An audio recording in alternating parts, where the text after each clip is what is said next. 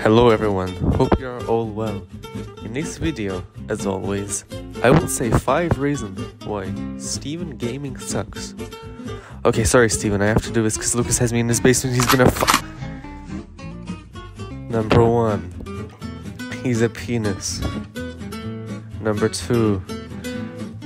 When he met up IRL with Lucas and June, he kept trying to make us, I mean them, walk a longer path to Whataburger and made the walk 2.5 miles instead of 2. I Not actually mad about this, by the way.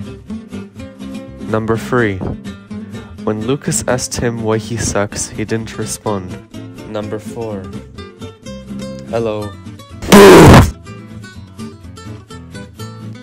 Number 5. But way back then, he used to have a very bad mic.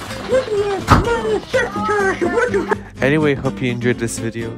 This basement is getting very hot, so I'm gonna just go. Well, there goes another one.